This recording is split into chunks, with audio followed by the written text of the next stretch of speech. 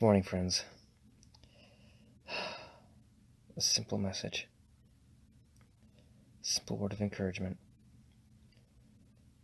Glory, thank you, Yeshua. Trust God when He's calling you to fast and pray, even when you don't know and understand why.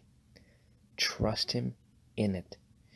It's He's calling you to something deeper. He's inviting you to uh, some to to sit and dine at his table. It's kind of, it's like a paradox. You're fasting from the whatever pleasures or uh, what what have you from in, in this in this world, whether they even be good or or or clearly that which we should be abstaining from to begin with. But we fast from the things here, and we feast on the things of God.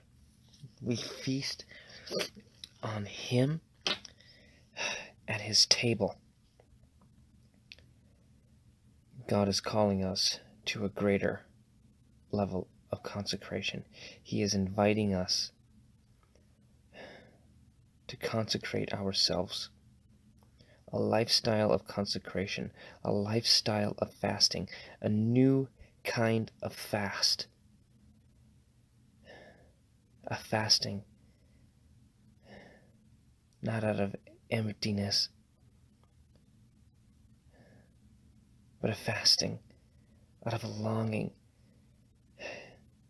for Him, a longing for the bridegroom, a longing and a hunger for more, for the fullness of God. It's God saying this. It's glorious because we think we think we fast and we pray so that we can know him more fully and that's true. But God is saying, "Yes, I want to know you even more fully. Give me more. Yes, pour out more so that you can be emptied and I can pour into you." God so desperately wants us he knows us through and through.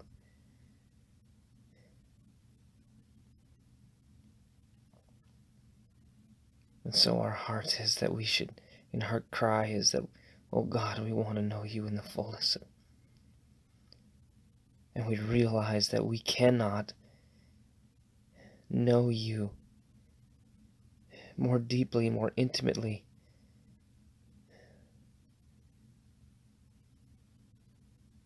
unless we are in that place and go to that place of deepest surrender, of consecration unto the Lord, where the Spirit of God searches us and knows us and sees any anything that is of any hindrance and and removes it with the sharpest of operation of the Spirit and of the sword, the Word of God.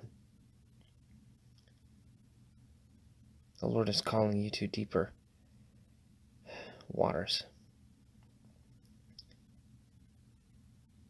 He's calling his bride to consecrate herself and to make herself ready. Glory, thank you, Lord, for revelation. Glory, glory, hallelujah. Trust in the Lord Lean not unto your own understanding. In all your ways, acknowledge Him. He's going to direct your path. Father, I thank you for my brothers and my sisters. Lord, I thank you that you are calling. Lord, and that my brothers and sisters, Lord, that they have ears to hear.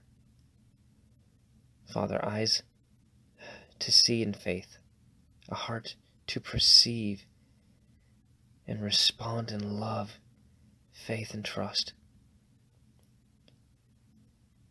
Thank you, Lord. May the bride make herself ready. In Yeshua's name, amen.